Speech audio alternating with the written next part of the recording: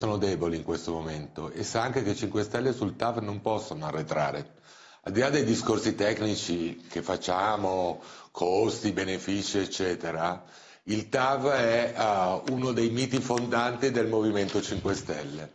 Il Movimento 5 Stelle nasce di fatto in Valsusa, insieme ai valsusini che resistono al TAV. Uh, il Movimento 5 Stelle in, con uh, il contratto di governo ha detto molti sì rispetto a quello che era il suo programma.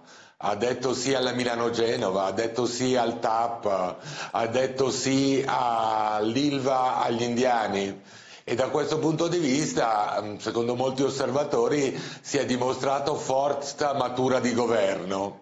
Rispetto a un'opera importante, certamente, dice Camperino, uh, ma non l'opera più importante d'Italia, si aspettava che la Lega potesse capire se davvero la Lega non mentiva quando diceva vogliamo governare per cinque anni.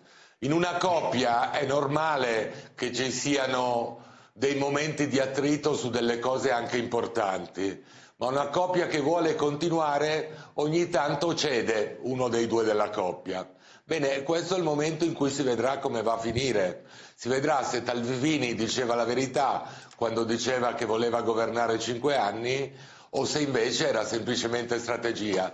Io sottolineo una cosa, Salvini vive sui social, sui social sta succedendo di tutto, ci sono decine e decine se non centinaia di simpatizzanti e militanti della Lega che per la prima volta gli dicono cosa stai facendo. Allora, allora